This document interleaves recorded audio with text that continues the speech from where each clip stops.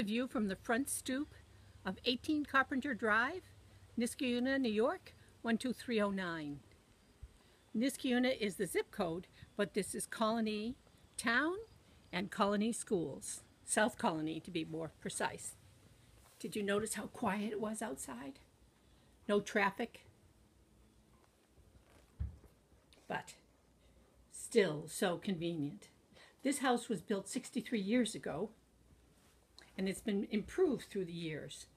These folks moved in about eight years ago and they've done a lot. They've done the roof, the water heater, the floors, to name a few. As I'm walking through, none of these rooms really merit any description. You can see what they're using them for. So this wing has two bedrooms, the bath, and a utility room. It's gas, hot water, baseboard heat. Through the years, it was added to.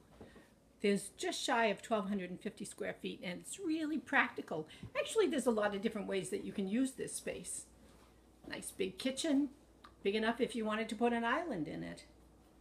There was an addition, as I mentioned, through the years that is currently being used as a dining room. Could be family room.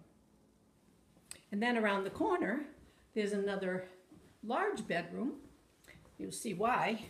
It's being used as the master bedroom. But if you had a few kids and you wanted to arrange the rooms differently, the bedrooms are big enough that you could have two kids in one room. Look at this yard. So nice and flat, fenced, fabulous deck for those barbecues. That doorway leads you to the one-car attached garage. And this doorway leads you to a practical mudroom. So you can come in from outside, drop your coats and your boots, and come on in. If you lived here and you had kids, I keep on mentioning kids because it's a good family neighborhood. Your kids can ride bikes and it's not unusual for people to be walking their dog or their with their kids early in the morning or late in the evening. Your minutes from Route 7 probably seven to 10 minutes from the Northway, all kinds of shopping off Consaul Road. If this looks like something that would be interesting to you, whatever your family size, give me a call or give Nicole Whitney a call at 542 1283.